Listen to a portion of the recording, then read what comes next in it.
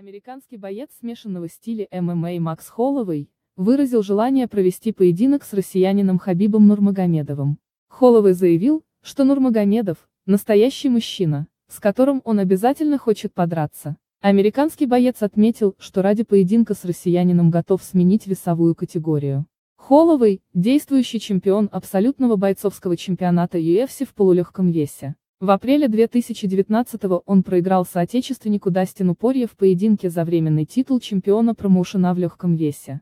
На счету Холлоуэя 21 победа и 4 поражения в смешанных единоборствах. В следующий раз американец появится в октагоне 15 декабря и встретится с австралийцем Александром Волконовски. Нурмагомедов остается непобежденным бойцом ММА, в его активе 28 побед в 28 поединках. 7 сентября он во второй раз защитил титул чемпиона UFC в легком весе, победив Пория. Ранее в сентябре, сообщалось, что основным претендентом на титульный поединок является Тони Фергюсон.